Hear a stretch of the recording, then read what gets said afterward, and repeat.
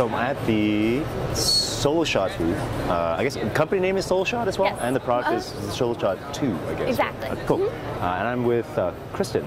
So anyway, yeah, Klyment, nice to meet you. Nice to meet you. Uh, I guess it, uh, yesterday we saw another product that looked, you know, like that seems to perform a similar function where there's like a kind of a, little transmitter and the, the camera base will track all the AMI. But like, tell me about your product and I guess how So it's different. Solo Shot's an automatic cameraman.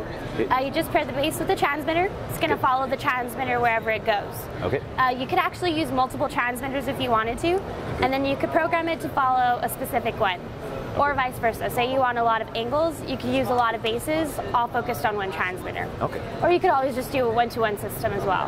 Okay. Um, the great thing about SoloShot as well is that it has a camera control accessory. Okay. So what this does is it automatically controls the zoom of the camera. Okay. You can also start or stop record from the transmitter. Okay, so just connected via like a like the LAN seat. Like, Yeah, like so it's right? control. Okay, Mhm. cool. We're also working on a lot of other accessories. For so, like I said, the camera accessory where you could actually control the camera. Okay. Uh, but I mean, like, so, uh, like, how, how control it? I guess, like, what? So what it does is it actually you will be able to tell the camera what you want it to do. So you could tell it, hey, I want it to focus on this person. I want it to zoom on this person. I want to switch out to this person. So you could be able to Okay. control it versus it all being automatic. I see. So, like, say if different transmitters kind of pass through its range of view, Uh-huh. it would do certain things. Yeah, Okay. Oh, very interesting. Uh, I guess like, uh, weight limits. Um, So it holds up to uh, five pound cameras. wow. Okay. Uh-huh. And you can use any camera with the standard tripod mount, so there's no uh, no restrictions on that. The camera control accessory, however, is currently only compatible with um, Sony cameras. Oh, okay. I see. I thought like okay. So strangely, like, I thought there was like a standard protocol between. So um, Okay. every camera is a little different. So Sony's, although it's Link, it's a little different than it's going to be from the Canon. So we're working on getting the Canon one down as well, as well as other models. Okay. Um, since every camera is different, it takes a little bit of time. Okay, I understand. Um, Yeah. Cool. And I guess in terms of like the motors you guys use, like, do we notice any like uh, stepping that happens uh, as it's tracking at all? Like, is it? So no, uh, this movement's really smooth. It tracks up to 80 degrees per second, and the vertical speed is 30 degrees per second.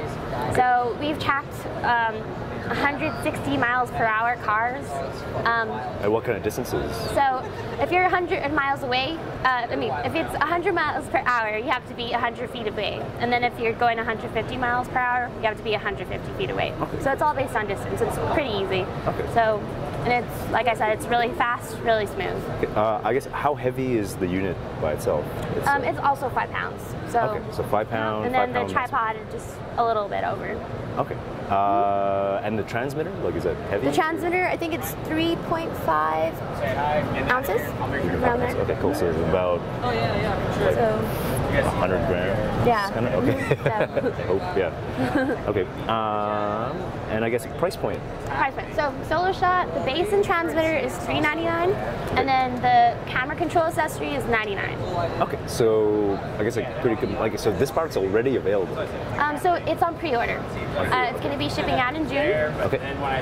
So about the same time as the well, Amy, I think is they're planning to ship about a, a month after you guys. Yeah. So, like uh-huh. Okay. So, So- we'll be shipping. Uh huh. Okay, oh, sorry. Oh no, go ahead. Oh, I guess that between this and the Amy, I mean, like, why buy this over the Amy? I, I mean, like, I, I feel the answer for me is obvious, but uh, like, guys, tell me, like, you know, it's a little bit heavier, but like, what are the, you know, why?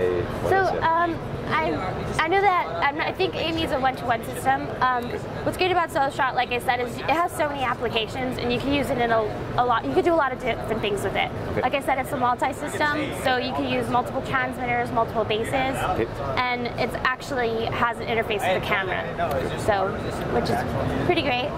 Um, and also, Solo Shot has we cater to longer distances, so you could be as close as 10 feet as far as 2,000 feet. Oh. Um, Solo Shot's based on RF, so you don't need line of sight.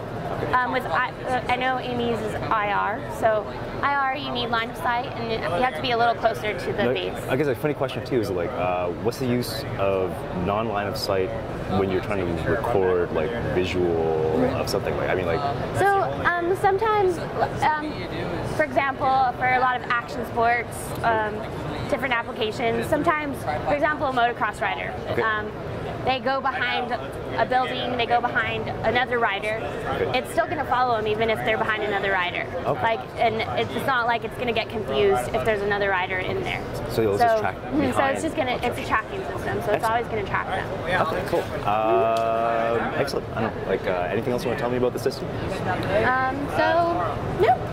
I mean, go to soloshot.com if you have any questions. Uh, and yeah. Sounds good. Okay, Kristen, thank you.